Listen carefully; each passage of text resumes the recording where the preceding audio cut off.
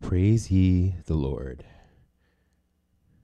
Praise God in his sanctuary. Praise him in the firmament of his power. Praise him for his mighty acts. Praise him according to his excellent greatness. Let everything that hath breath praise the Lord. Praise ye the Lord. Let us pray. Dear God, we thank you for the privilege to come before you once again. We thank you for bringing us to yet another Sunday, to a day that we celebrate mothers. And we just pray that you would have your way in the service. Be with us. We know it says in your word where two or three are gathered in your name, there will you be also.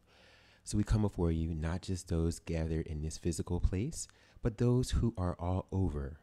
Um, whether we're in our homes, whether we're in our cars, whether we're outside enjoying the beautiful weather, and whenever we are participating, because thankfully this is being recorded, we pray you will meet us where we are.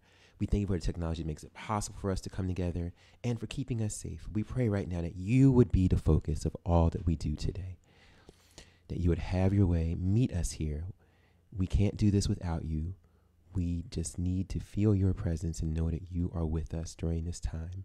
So we thank you in advance for meeting us for this time of praise and for this time of worship. These things we ask in your son, Jesus' name, amen. Good morning, everybody, and welcome to our service today is Mother's Day. Um, so, you know, without further ado, I want to make sure that we celebrate our mothers, all the mothers who are part of this congregation, all the mothers who are part of our community. And I'm going to say a little bit more about them later, but so you know, happy Mother's Day from me and from the Pivot Point Gathering family. Um, as you can imagine, Mother's Day is, you know, especially important because mothers are the backbone of our community. You know, without our mothers, where would we be? Like, eh, you know, in addition to going through the trouble of rearing us, you know, raising us, teaching us, like, and I feel like a lot of churches don't spend enough time talking about how important motherhood is. And I want to make it clear that when I talk about motherhood, I'm not even just talking about biological mothers or adoptive mothers, but also those who do the role of mothering, you know, so that means you might not have any biological children, but you've still been a mother figure, you know, so godmothers, aunties, big cousins, like, you know, whoever you are, we salute you and want you to know that the lives of the children you have reached, you know, many of whom who are probably grown at this point, you have had a big impact no matter what your role. But we're going to talk a little bit, bit more about Mother's Day a little later. But I am glad to see all of you. Um, hey, Deaconess Julia. Hi, Sister Sylvia. Um, yeah, this has it's been a busy weekend, been a busy month already, but we're thankful to be here. glad to see you all. And yes, as you may have figured out, the comments are working again this week, so I can see you all.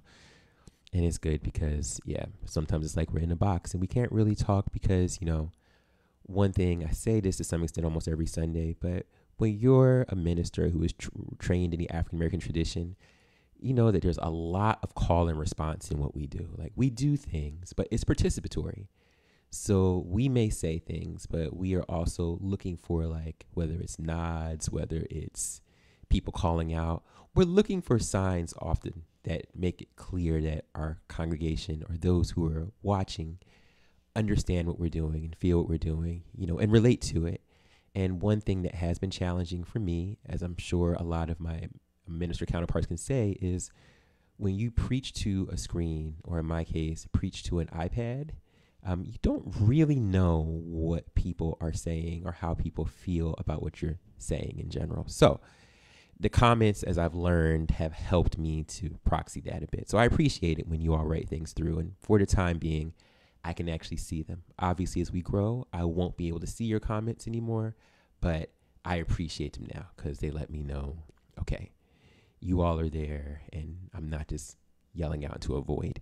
But anyway, we thank you all for joining us today. And I say we because I'm saying we on behalf of our whole congregation, which includes First Lady, who was just talking about how much she misses you all today, and also um, Baby Boy because as you know first lady uh, during a lot of times with our services she's up and behind the scenes but she can't come on camera because one of us is always taking care of mr baby who is growing and as such needs a lot more attention Some of you might remember those days when your children first started walking, which means that they're into everything, which means they pick up everything and put everything in their mouth just if you're not watching them. So we take turns watching, but obviously I have to be out front during service. So once service is over, I get to take him back for a little bit and she gets a bit of time to herself.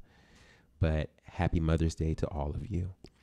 So, and right now, um, I know we normally talk about this a bit, but I just want to give a reminder of how you can find us.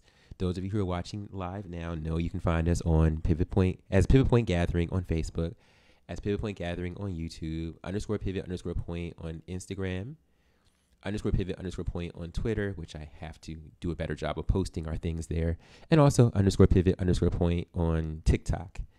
Um, we've been getting a good amount of feedback on Instagram and TikTok lately, so thank you all. And um, yeah, you can find us at our website, which is at pivotpoint.church. That is pivotpoint.church. If you do .com or .org, it's already taken by somebody else that's not us. But we are findable at pivotpoint.church.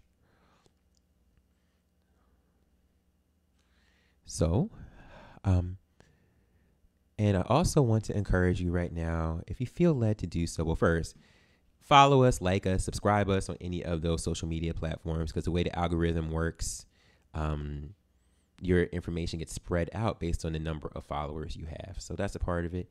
And also, if you like our content, also do what you can to like it, react to it, maybe even write a comment. The more you do that, the more others will get a chance to see, you know, what this ministry is about. And I also encourage you to share, which is what I am going to do right now. So I'm about to share us on my personal social media. Presumably, if you all are seeing this right now live, you um, won't see that I've shared it, but I share it and I encourage you to share it as well. Um, well, once I find it, because that is how people find us. It's like finding a needle in a haystack. But if you like what this needle in the haystack has done in your life and you want your friends and family to know, we encourage you to share. And I'm sharing right now. But again, if you're not the kind of person that likes to share on your social media, I get it. No pressure. I'm glad that you're here. And I do hope that you get something out of today's service. And hi, Miss Vanessa. I see you you know, it's great how many people just kind of pop in. Um, but okay, so what we're going to do now is we're going to jump to our song. Make sure there are no other announcements, right? We'll come back to our prayer requests later. But we're going to jump to our song. So what I'm going to do is I'm going to jump to a song that has been on my heart lately. You know, lately the songs have been a little brief because, yeah, running a church can be tiring. But I still want to make sure that we have a chance to sing together. So this is a song called I Feel Like Going On, which I'm sure is something that a lot of us can relate to, especially when you're tired. You know, one thing I've learned in this parenting journey for the past year and some change is that even when you're tired, you know, those little eyes are still looking for you and still need you to, you know, be there and support them and meet their needs. And I know mothers feel that in a different way than fathers do. So maybe this is a song that's been on some of your spirits as well, some of your hearts as well, letting you know that no matter what's going on, you have to keep pressing on. God is with you.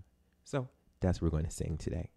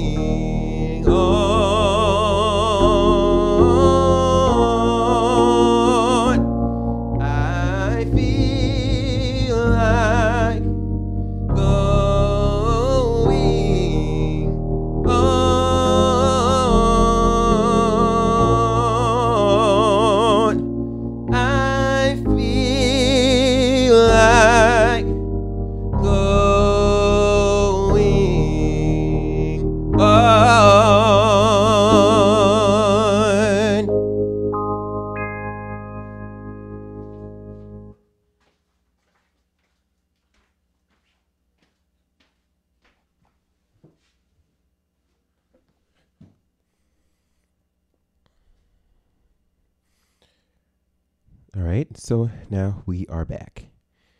And good morning to all those who put comments in so far. Hey, First Lady, good to see you. yeah, what you all can't see is that she and baby boy are going on their usual morning walk because, like his father, Mr. Baby loves to be outside when the weather is nice. You know, he just loves his morning walk after his breakfast. So she is watching by phone like a lot of you and he is enjoying the weather. That's why when I open up in prayer, I'll often talk about people enjoying service and the weather at the same time. Because I know there are some of you who really are out and about, and I'm thankful that the technology makes it possible for you to join us. So good to see you all. So we are going to go into, um, well, we're going to talk about our um, things that we are praying for as a ministry. So I'm going to put that screen up right now so you can see, but don't worry, I'm still going to be on the screen as well, just smaller. So, as we do every week, we are praying about our location. You know, yes, we have been doing pretty well as a mostly online ministry, but there are just some things that you need a building to do, you know we like the idea of having in-person events and while we can do that pretty well during the weather you know when weather's like it is right now we acknowledge that we um, want to still be able to have some in-person events from time to time when the weather is not as nice.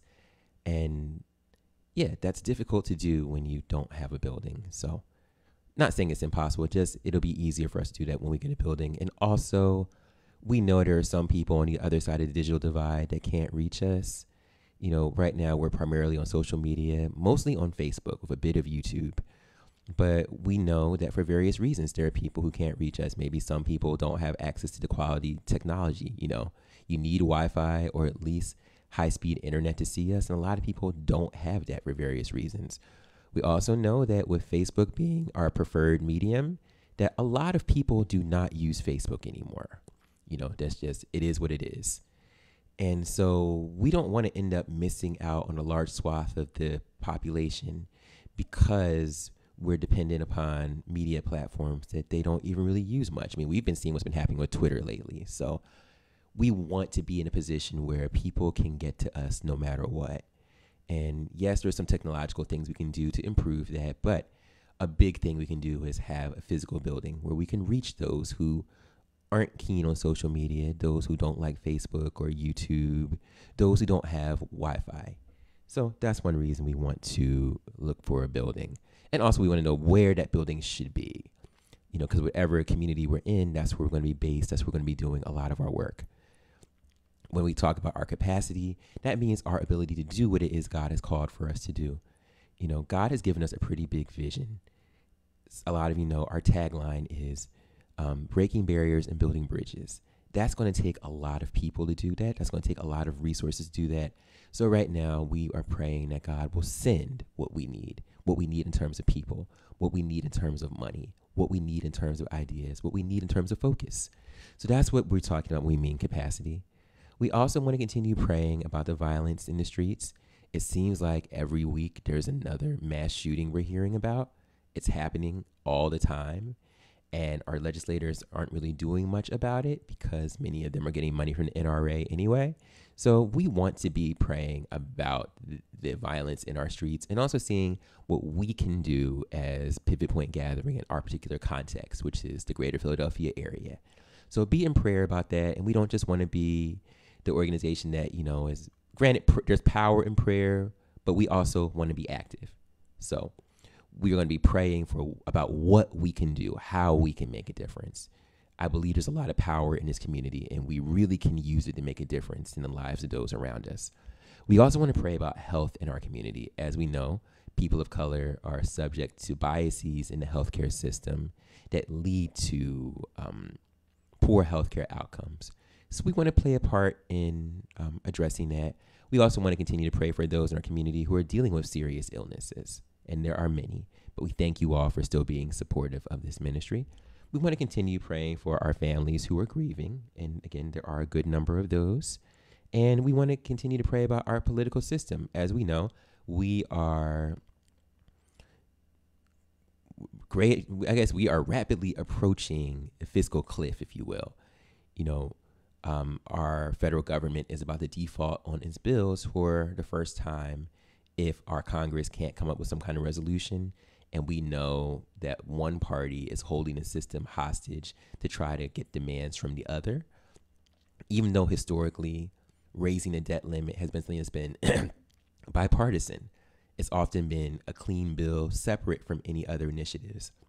But we have one party right now that just does not want to cooperate and it can have devastating impacts on the rest of us. And that's just one of the many examples of the issues in our political system. So let's continue to pray that God will send people to our political system who actually care about serving Him first and foremost, serving the people that He has called them to, and not just being focused on maintaining power and wealth like so many are.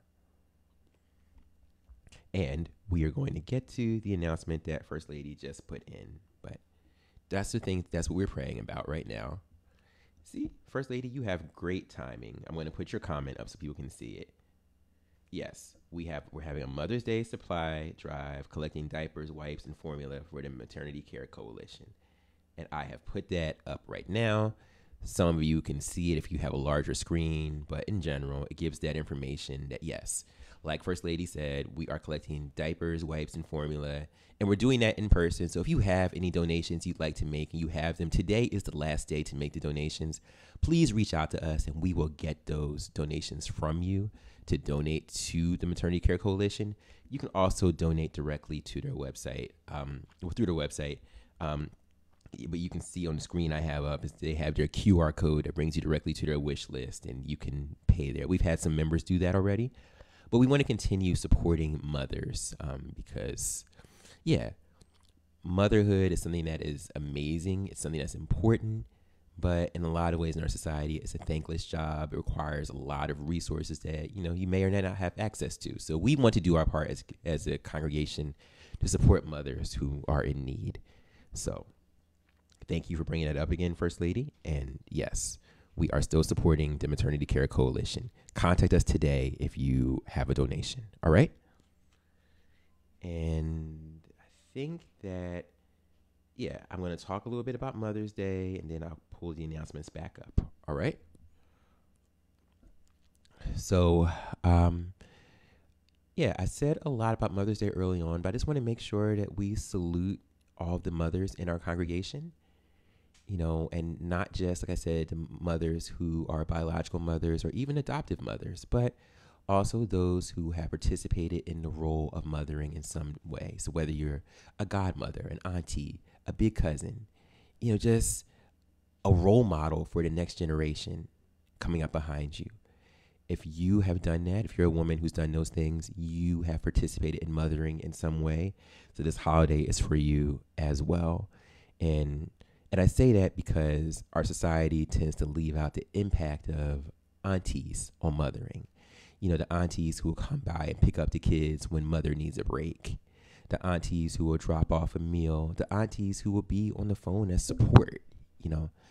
And I know in my upbringing, and I'm sure Deaconess Julia can echo this, but there are a lot of things in my life that wouldn't have been as smooth if my mother did not have the help of her sisters, my aunties. And I know I think about them all the time.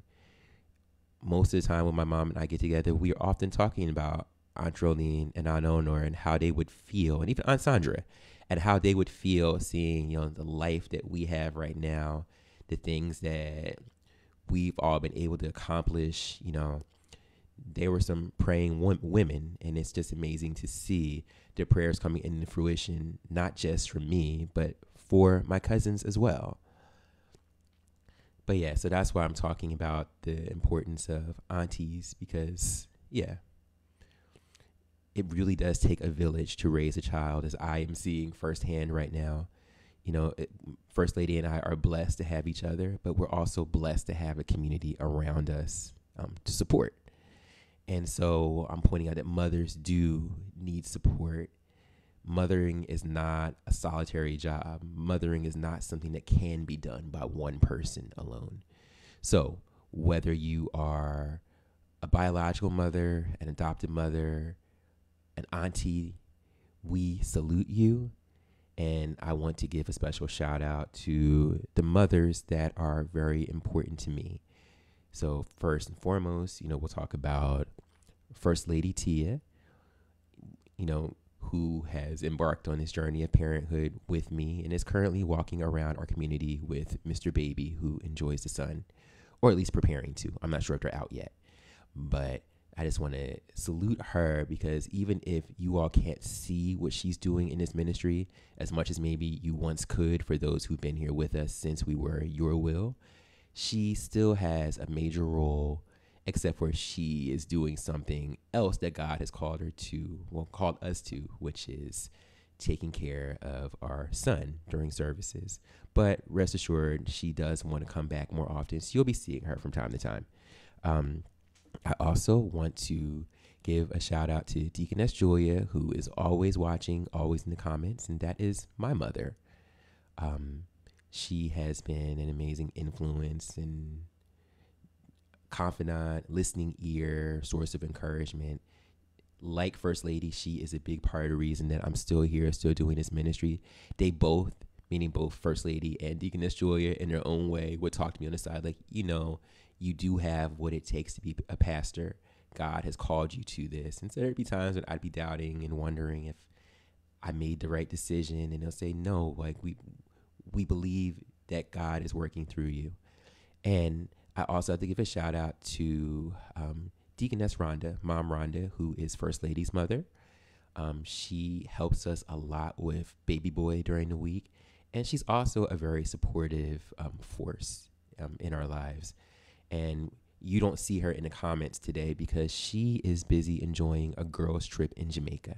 So we pray that she'll bring some sunshine back for us and that she has great like a great time there resting and relaxing and we'll also be praying for her traveling mercies as she flies back in a few days and to the rest of the mothers of pivot point gathering we love you all all right so I didn't forget anybody. I'm sure if I see you all in person, I'll have something to say to you too. But we got to keep move on. So, one last event that we have coming up, as some of you know, is we are continuing our discussion on the 1619 project. It's going to be June 10th at 11 a.m. We'll be discussing the next two episodes music and capitalism. Um, it's going to be on Zoom. We will start having information out there for you to register soon. Um, and if you missed the first two episodes, which were on democracy and race, don't worry about it. You can watch them, jump in, and catch up with us.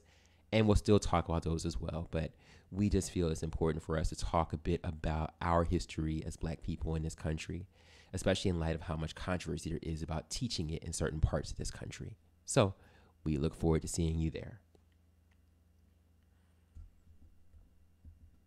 And now, um, I just want to remind you all if this is your first time watching, f- fill out a contact card so we can be in touch with you. We'd love to hear from you and figure out how we can support you best. Um, if you feel interested in donating to us, here's how you can donate.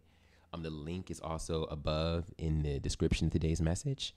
And your money will go toward us upgrading our technology. As you can see, we don't have a lot of overhead as a ministry because nobody's getting paid at this point. Well, nobody's getting paid on a regular basis. We do pay guest ministers when they come through, but we are going to have to upgrade our technology. You know, some of you know recently we did upgrade our keyboard. Um, this computer right here is actually my personal computer, but we're about to buy a better one for the church to run a lot of things. Um, we also have two iPads that you can't see in addition to this one. Those iPads are the ones that are operating as cameras. We'll be upgrading those pretty soon.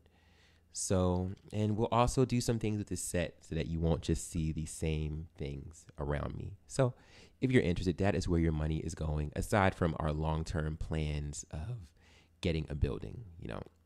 So, if you would like to support us, your donations are what keep us afloat, and we're thankful for those of you who have been donating on a regular basis. And lastly, if you'd like some more information, check us out on at pivotpoint.church. All right. So with that, we are going to go into our um, message for today. All right. So if you can open your Bibles, and I'm going to pull up the screen again. If you can open your Bibles to 1 Kings chapter 3, beginning at verse 16. That is 1 Kings chapter 3, beginning at verse 16. My usual custom is to wait until somebody types through amen in the comments. I know there aren't as many of you today, so um, I'll give it a few minutes. Well, not a few minutes, because that would take a long time. But I'll give you some time to catch up, and then I'm going to start reading. But if somebody feels like typing through amen, please do that so I know you're with us. First Kings chapter 3, beginning at verse 16. And as some of you may notice um, from the picture here, this is the story of Solomon and the two women who claim to be the mother of the one child because as you can see, there are two women, one holding a baby, and they're approaching Solomon. That is what we're talking about today. And yes, the art is going to support that. And in fact, you know what? I'm going to take myself off the screen so that you all can see this better. All right? First Kings 3, beginning at verse 16. All right? And it reads thus.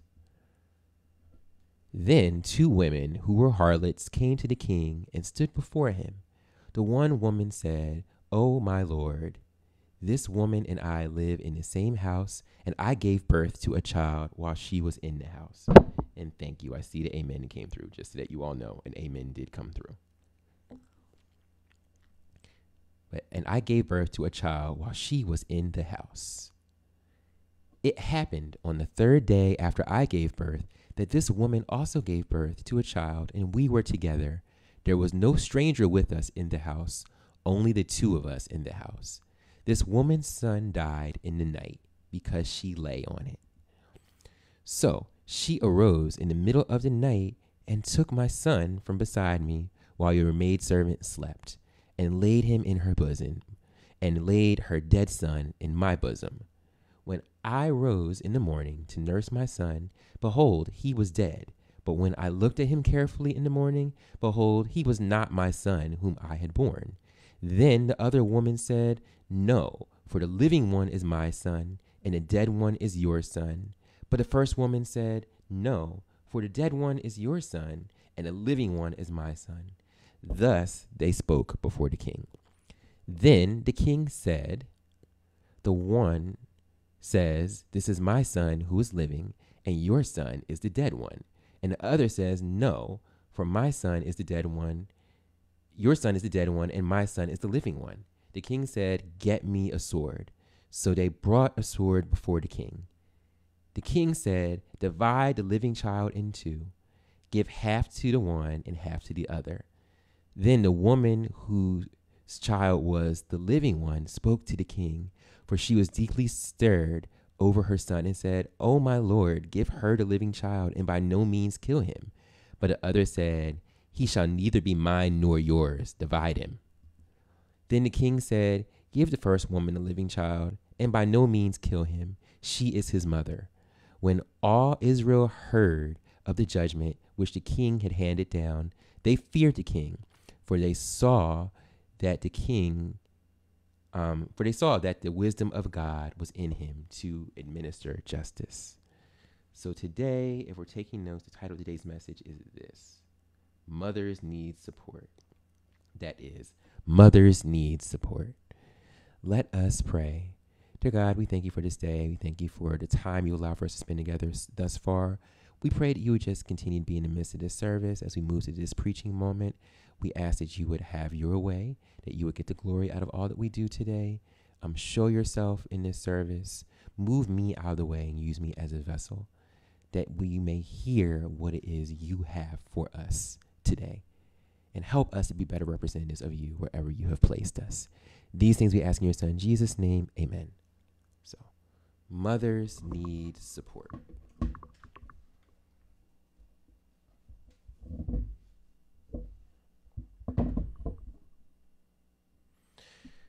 Since it's Mother's Day, we are going to discuss a very well known passage of Scripture In fact, I can give First Lady credit because I was going around the house saying, I wonder what I should preach on. And she said, Have you thought about this passage? You know, she has mentioned it. I'm like, you know, I would never have thought about this passage, but it is a pretty well known passage of scripture. In fact, it's one of the most famous stories coming from the reign of King Solomon, a king who was known for his wisdom in spite of his penchant for women. You look it up, he had what, like 2,000 wives and 9,000 concubines or something crazy like that.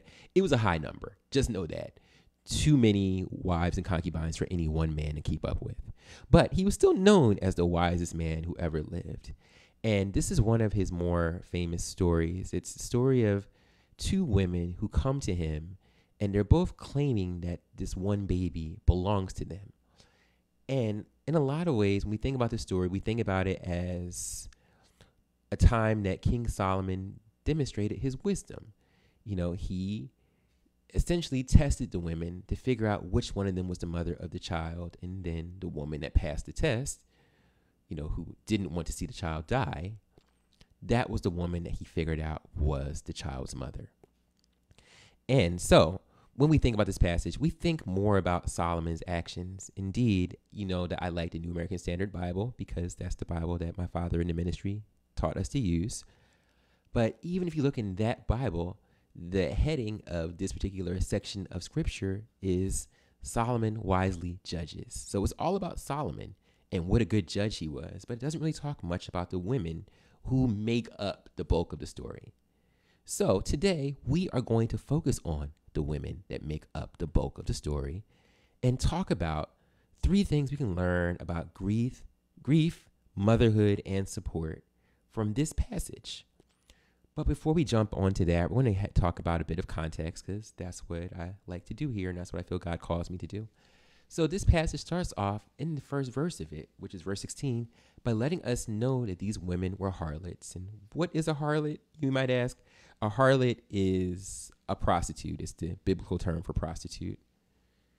And I know I've said this in some form before, but we have to understand that in those days, a woman did not have many options to support herself if she was outside the home of, say, her father or her husband or another male relative that was willing to take care of her. So a lot of women had the option of you know, living in poverty, being prostitutes, or being prostitutes living in poverty. There weren't really a lot of options out there.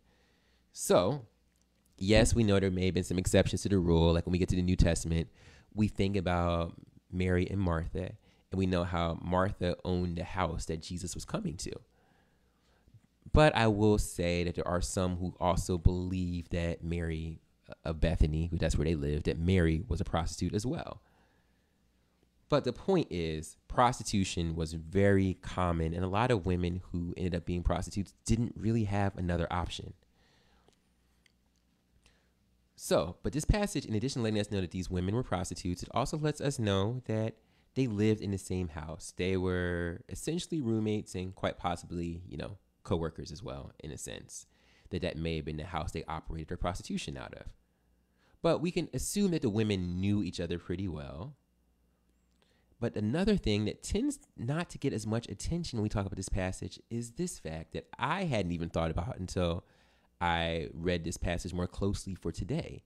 And that is that both of these women were mothers. Not just one, both were. They both had recently given birth. And in fact, they only gave birth approximately three days apart, according to this passage.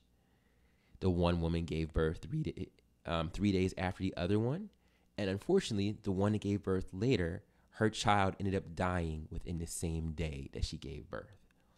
So this already changes a lot of what we know about this passage by the way that it's generally told. You know, for starters, the fact that the women were prostitutes explains why they were left alone with the newborns. I mean, yes, fathers didn't have the most active of roles, but you know, it does explain a bit more about why these women were in such close proximity that one could steal the other one's child. You know, because generally women gave birth in their homes, and these women, you know, they lived together. Um, And we also can think of it as yes, fathers didn't have a major role in child rearing at that time, but it's not like a prostitute could easily identify, you know, the father of her children. You know, we live in an era where DNA testing is a thing. But back then, best case scenario, you could rely on the fact that a child may look a lot like their father, but you know, that's not always the best way to distinguish. So, just saying that these women had no real support because they were prostitutes. So, this helps us to understand that this is not just a, purely a story of a deranged woman who stole another random woman's child and tried to pass it off as her own, but it's the story of a grieving mother who tried to switch her dead baby with her friend and roommate's living one. And before I move on, we want to add in that we know the mother whose child had been switched would recognize her child right away. Because mothers can always recognize their children, even after just a few days. In fact, this speaks to how egregious this incident really was. Because, for one, mothers generally don't let their babies out of their sight this early in their lives. I mean, I can think back to last year when First Lady and I, you know, first brought baby boy home from the hospital. Like, we were always watching him. There wasn't a time where one of us wasn't with him. And the only people who were allowed to be close to him were, you know, people who we loved and people who we trusted. Right? So, you know, not just anybody off the street was gonna be able to walk in our house and be near our baby. And that lets us know that this woman trusted her roommate to be around her baby. Perhaps because, you know, as scripture says, there was no one else in the house with them. They were all they had to get themselves through this difficult time. Because, you know, childbirth, child, uh, and especially those first few days with newborn, those are pretty difficult times. And we can also add in that because these women were prostitutes, they probably also really needed each other to get through this time because their income was likely pro- compromised, especially, you know, during the latter stages of their pregnancy. So now that we have gone over um, this context, I'm going to jump into my first point. We talk about mothers needing support, is that we cannot underestimate the power of grief. Again, we cannot underestimate the power of grief. So, as I said earlier, we tend to leave out the fact that both women in this passage who approached King Solomon were mothers. But the other thing we tend to leave out is how the child died. The one whose child died died through a very common yet avoidable accident. She fell asleep on the child. Like she fell asleep and inadvertently rolled over on him. The passage says she lay on him. And as the parent of a one year old, I remember how during doctor's visits, First Lady and I were always asked where the baby boy slept. You know, is he in a crib? Is he in a bassinet? And they wanted to make it clear that he needed to have his own place to sleep. Yes, we could hold him during naps, but he needed to have his own place to sleep because of accidents like the one that happened in this passage. And you do hear them happen pretty often, you know, as sweet and loving as like co-sleeping arrangements can be, they can also be pretty dangerous because let's face it, we as parents are much bigger than our children and, you know, they wouldn't have the strength or the ability to tell us to move if we roll over on them, like what happened in this passage. But I'm bringing this up because some would interpret the detail of how this baby died as the mother being careless. But I really want us to be empathetic. There's no evidence that this woman was careless and would have been a bad mother otherwise. Keep in mind, both women who approached King Solomon were prostitutes, not just the one. But that means that they both were single mothers who had little support. And this kind of thing usually happens because mothers or parents in general are tired and need extra support during the newborn phase. Because I can tell you, newborns don't sleep for more than maybe an hour at a time when they first are born. In fact, you can laugh at the whole concept of sleeping like a baby because whoever said sleeping like a baby must not have been around any babies because babies do not sleep. like, especially in those very early days, that baby might sleep and still wake up like five, six times in the night hungry or needing a diaper change, you know. So, just saying, during those newborn stages, it's pretty easy for parents to, especially mothers, to be overwhelmed. And it's times like this when support, going back to the title of this message, but when support is all the more important.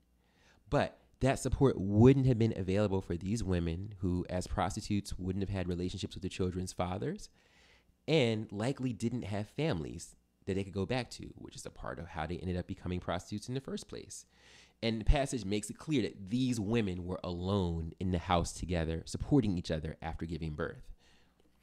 So now, getting back to the one whose child died, to have her child die so soon after it was born would have led to a type of pain that for most of us would be unimaginable. And I personally never want to have to experience that kind of pain.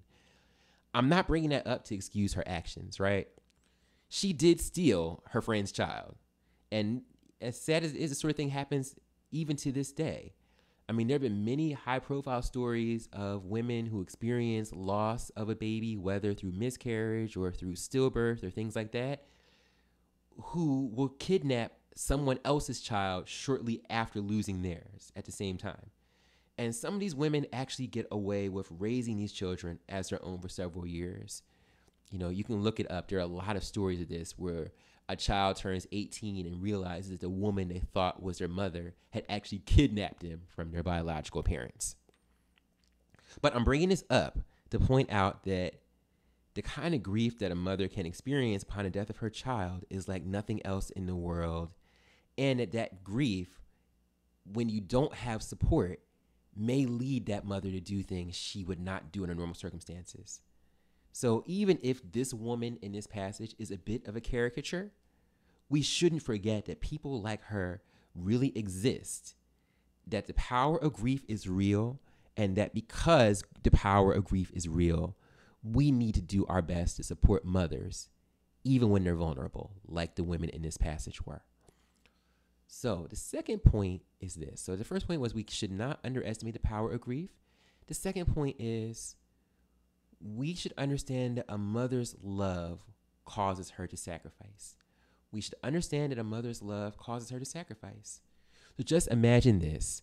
You figure out that your roommate, who's presumably your friend, has stolen your child after her own baby died. You figure out somehow to get this issue brought up before the king, which is amazing in and of itself, but lets you know how far mother will go when she's trying to protect the life of her child. And then the king gets out a sword, and the solution is let's cut that baby in half. That way, you both can have a piece of him. What would you do? Well, when King Solomon proposed cutting the baby in half, the mother of the child reacted in a way that many of us relate to. She knew that cutting her child in half will result in his death, so she backed off and told King Solomon, you know what? Don't kill him, let the other woman raise him. Why? Because she knew that was the only way her child would live. And it's a sad thing to think about when you find yourself in a situation where the only way your child can live is if they live without you. But this woman was so intent on making sure her child survived that she was willing to do just that. Now, for the record, we know that King Solomon's proposed solution, which really was a test, is not what any of us would have anticipated given the situation. The woman approached the king because she wanted her child back. But again, when given the choice between his death and his absence, she chose his absence. And that was what King Solomon knew she would do if she were indeed the real mother. Why?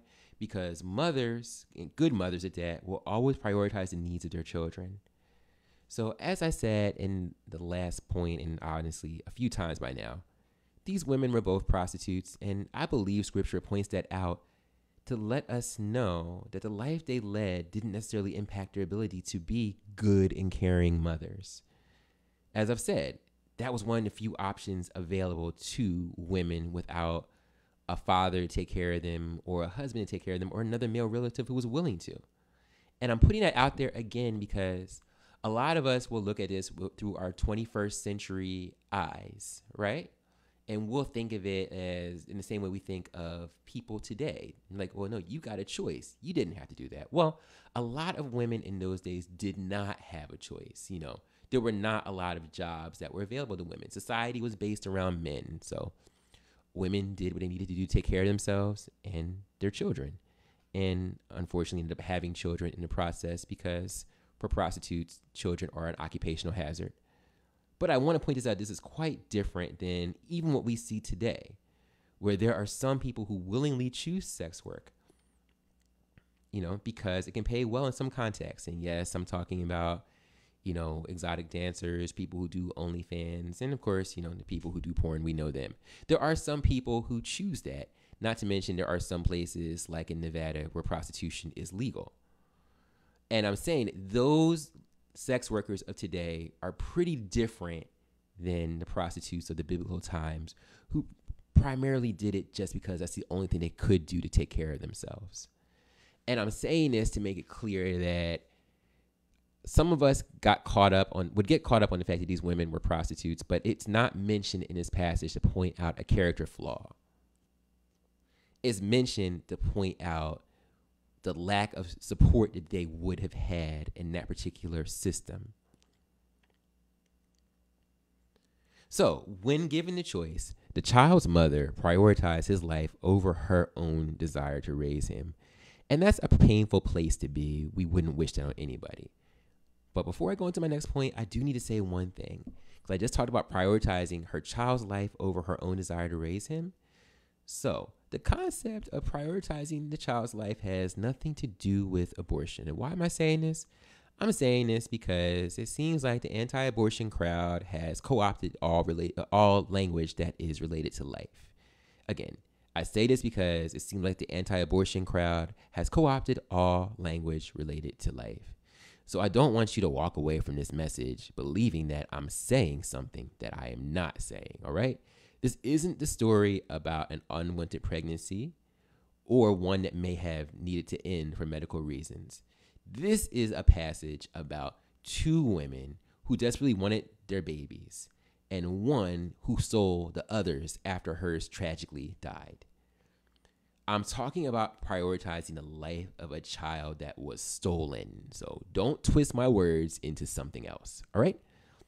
And with that, we're going to move on to the third point. So the first point again was we should not underestimate the power of grief.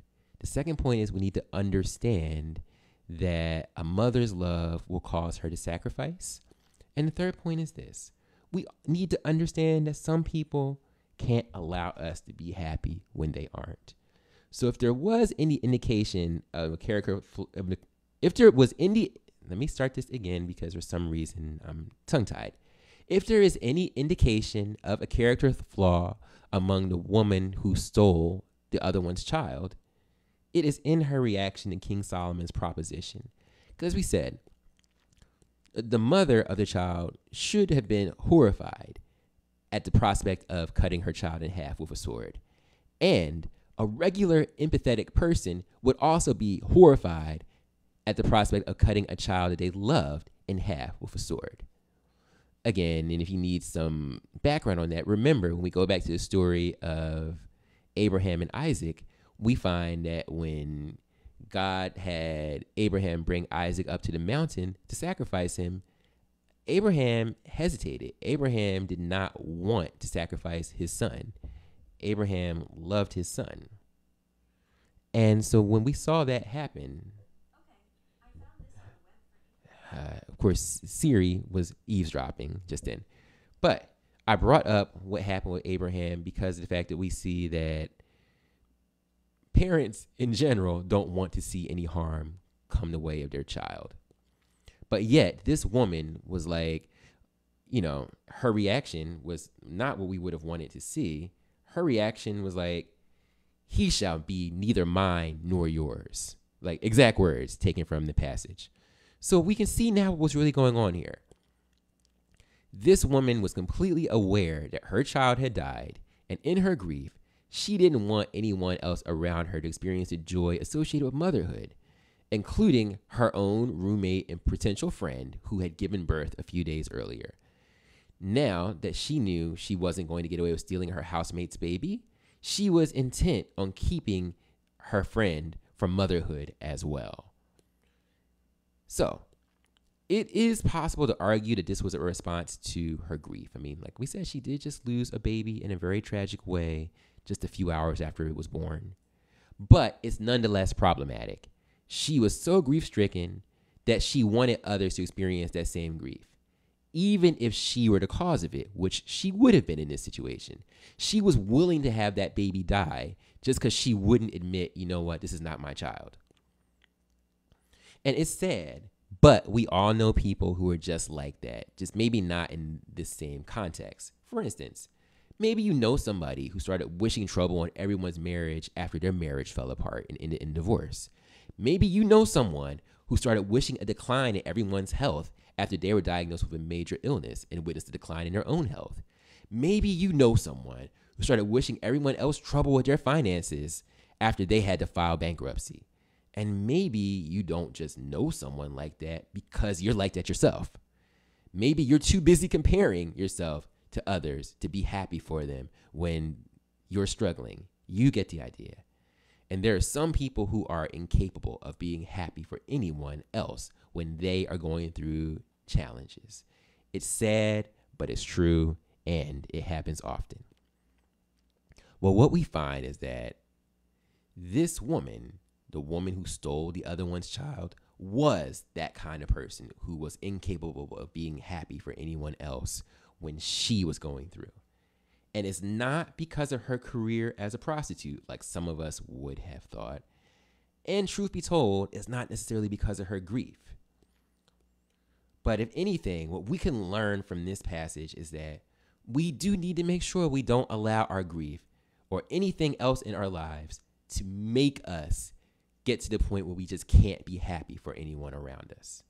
We can't allow ourselves to become jealous of the blessings of others while we're in the midst of our own pain. Instead, we should strive to celebrate the blessings of others and use them as reminders that we serve a God who is capable of doing the same things for us. So, as we come to a conclusion, I do want to point out this story did have a bit of a happy ending. The child was reunited with his mother after King Solomon correctly deduced that the real mother would not have wanted her child to be cut in half. But what I want to focus on is this. As sad as it is, there are a lot of people in this world like the other mother in this story, who experience tragedies even as many of us are being blessed. And those people aren't always deranged, like the mother who stole the baby in this passage, but they're still suffering silently. And that's why the concept of community is so important. The mother in this passage probably fell asleep on her child because she was tired and needed help and support. And as the parent of a one year old, I can tell you that the newborn days were among the most taxing days I have ever experienced in my life. And I'm not the mother. So, as hard as it is for me, I can only imagine what my wife was going through. We did work together as a team, but we were incredibly grateful for our mothers, Deaconess Julia and Deaconess Rhonda, who were over all the time holding the baby, you know, supporting us giving us advice when we needed it. And we're also thankful for the friends and family members who stopped by periodically, the ones who gave us food when we didn't have enough energy to cook for ourselves, the one who brought by supplies and gave us some ideas about things we would need as first time parents that we wouldn't have known otherwise. You know, it really made it possible for us to survive. And don't get me wrong, it still was overwhelming, but I am incredibly grateful to the village that God had provided for us in those early days of baby boy's life. because it really does take a village to raise a child. That's not just a saying, it's truth. But as this passage points out, both of these women had no one but each other because their job made them outcasts in their society. So, as we come to a close, I don't want us to leave just thinking about how this woman stole her friend's child and King Solomon was able to reunite them. I want us to remember that mothers in general need support. Raising children is difficult. Tending to newborns is difficult. Taking care of yourself while taking care of a newborn is difficult. And we as a society need to do our part to support all mothers, no matter their job, no matter their income, no matter their relationship status, no matter the size of their family or the size of their support system, so that they have the chance to provide the kind of structured and supportive environment that their children deserve. And God bless you all. That brings us to the end of today's message. I did not have enough time to have my usual cup of tea, so we're just going to jump right into um, we're going to jump right into opening the doors of the church. All right, and I'm going to put this back up so that we can fill out. So you know how to fill out a contact card, but some of you may be wondering, you know, this message was really all about King Solomon and how God used King Solomon to determine who the rightful mother was in this passage. But also, we can't forget that mothers need support. And I ended this message by talking about the importance of community, which is really what churches are. A church is a community. We work together, we support each other, we help each other. And the thing that unifies us as a church is our belief in Jesus Christ, the Son of God, who died for our sins. So, if you would like to become a part of either this church or just the general body of believers, of those of us who believe in Jesus Christ, if you would like to be a part of that support system for someone else or you need that support, well, I encourage you to first build a relationship with Jesus Christ Himself. And how do you do that? You can pray this prayer after me right now. You can say, God, I confess that Jesus is Lord, and I believe in my heart that you raised him from the dead. If you prayed that prayer with me today, congratulations, you are now saved. We would love to hear from you. So you can fill out the contact card. You know, the link is above. You can also write us a comment in today's um, service, and you'll hear back from me or from our first lady or from our deacon, and we'll pray with you and help you figure out next steps in your journey as a believer, whether that's uniting with us as a ministry or even finding another ministry that might be closer to you. Because as I said earlier, we do plan on opening a building someday. But we also know there are some people who might be okay with, you know, being virtual members of a church that's not in their area. But we just want to hear from you and figure out how we can support you. Or maybe you're somebody who already identifies as a believer, but you're looking for a community to be a part of, a community like ours that is comfortable having difficult conversations about the oppression that exists in our society, a, com- a community that believes that social justice is not in addition to the gospel, but a part of it, a person who believes that Jesus came back to liberate us all from the oppression in our societies, you know, and not just to focus on the afterlife. You know, yes, the afterlife is a good thing, but we also have jobs to do while we are here.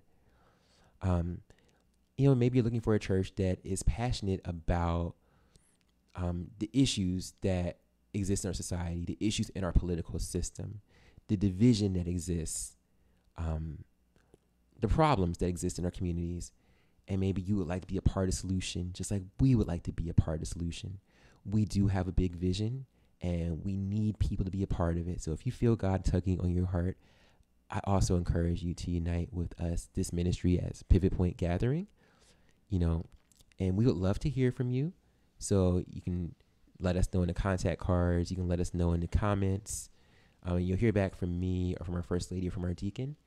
Or maybe you're somebody who's just in need of prayer. We do believe in the power of prayer. You can send us a prayer request through your contact card. You can send us a prayer request through our Instagram and Facebook stories. You can direct message us. And you can also write your prayer request in the comments of today's service. If you're live with us on Facebook right now, if you write your comments down, we will um, pray for them before service is over. And I already see some that have come through. So thank you all. And lastly, we encourage you to fill out a contact card if you'd like to be added to our mailing list. That way, you will know what events are coming up in our ministry. Um, and we do have some more events coming up. We've talked about the um, 1619 Project um, event, and we're also going to have another barbecue this year at some point. You know, so look out for that. Not to mention the women's ministry will be back, and we're also um, working behind the scenes on creating something for men to get together to do. All right, so if you'd like to know about those events before they become public or on our social media, um, fill out a contact card and we'll add you to our list. All right. So now I see some prayer requests that have come through today. I am going to review those prayer requests. Um, but just thank you for, um, just thank you all for your support of this ministry. You know, we love you all. Um, and to all the mothers in our congregation, happy Mother's Day once again. Um, you know, I hope your families have time to celebrate with you. That's what we're doing right after service. So, and I'm going to put the prayer requests back up on the screen so that we all can see them. These are the general prayer requests for the ministry. But I know that um, yeah, those are general prayer requests for the ministry, but I know there are some prayer requests that have been submitted, so I will be praying for those as well. And some of you will see me, you know, opening my eyes during the prayer so I can make sure that I review them correctly. All right? But thank you all again for spending this time with us on your Mother's Day. We love you all. We really do love the mothers in our ministry. Happy Mother's Day again from Pivot Point Gathering. We love you all. So, with that, we are going to close out. All right. And like I said, you may see me open my eyes because I got to look to make sure I don't miss any prayer requests, but I love you all. And as my father in the ministry was so fond of saying, God loves you, and so do we. All right. With that, let us pray. Dear God, we thank you for the privilege to come before you once again. We pray that you will just help us to remember that we need to do our part to support the mothers in our environment. And that is why, as we were talking earlier, um, those other roles are so important in our communities as well. The aunties, the godmothers, the big cousins, like, because it really does take a village to raise a child. So help us to seek out the mothers in our lives and be able to support them. You know, help us to know that even if they have husbands around, even if they have boyfriends around, raising children takes a community and not just one or two people. So don't be afraid to reach out to a mother and be a source of support because I guarantee you she needs it. Help us to know that we need to reach out to mothers. Help us to know that we can support them. Help us to not be afraid to reach out, not assume that they have everything together because they probably need that moment to breathe, to rest, to relax, to remember who they were before or just to have a moment to clear their own heads. So help us to know that we can support mothers. We also pray for all the prayer requests that we share each week as a ministry for our location, for our capacity, about the violence in the streets, about the mass shootings happening around our country, about the disparities that exist in health in our communities about our families that are bereaved, and about the nonsense that's in our political system. We know that you can do exceeding abundantly above all that we can ask or think. So we just pray that you would bring about solutions that we need in all these instances. And we pray about all those prayer requests that have been shared. We pray for Uncle William and for Deaconess Julia, for Reverend George and for Evangelist Tyra, for Reverend Simone, and for Sister Jerry Simpson. You know the needs in those situations. And we thank you for Sister Victoria, who knew to bring those names to the altar. We just pray you would work on the behalf of all of them in these situations and just let them know that they can trust and depend on you because you will work out what they need. We know some of them are dealing with illnesses, you know, some of them are just dealing with stress, but whatever it is they're dealing with, we pray you will show yourself not just for their benefit, but so that they can tell other people of your goodness and share, you know, all the things that you have done for them. We also pray for Sister Victoria, who is in need of guidance for her job, in need of guidance with her pursuit of opportunities in theater, and just in need of a touch from you with her health. We also pray for um, Jordan. You know the need in that situation. We thank you that he is still doing well. We pray that you will be with the doctors as they figure out what is going on with him and just help him as he needs direction for his life. We thank you that things have been going better with he and his mother Sylvia. And we just pray that you would have your way and continue to draw them closer to you and show yourself in their lives and in their relationship. But we pray for Jordan as he's still recovering from his kidney stones. And we pray that you would just have your way, um, show yourself in our lives and even with those prayer requests that those that may come in through our contact card, those that may be submitted later on through our Instagram and Facebook stories, we pray that you would have your way. And we ask a special blessing on all those for whom this is a difficult season, those who've lost their mothers, those whose mothers are still here, but they just have difficult relationships with their, with their mothers. You know, those who are estranged, those who never had a relationship with their mothers, those whose mothers died when they were young. We know there are plenty of people in our society for whom Mother's Day is complicated. And we pray that you would just help them to know that you love them and you care from them, for them and you feel their pain and they are not alone and that they can trust and depend on you. And we pray that you would raise up a community for those people, an understanding community for them who will just understand that this is a difficult time. And we ask a special blessing on those for whom this is their first Mother's Day without their mother, first Mother's Day without their grandmother, first Mother's Day without that loved one. Just hold them close to you and let them know that they are not alone. And now we pray for all those who had prayer requests that remain unspoken and stayed on their hearts. Just take care of any concerns we may have.